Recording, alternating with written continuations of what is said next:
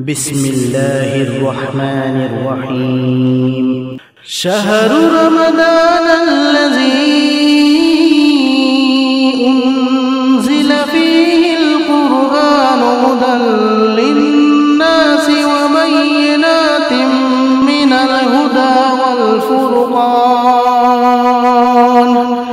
فمن شهد منكم الشهر فليصمه ومن كان مريدا أو على سفر فعدة من أيام أخر. يريد الله بكم اليسر ولا يريد بكم العسر ولتكملوا العدة.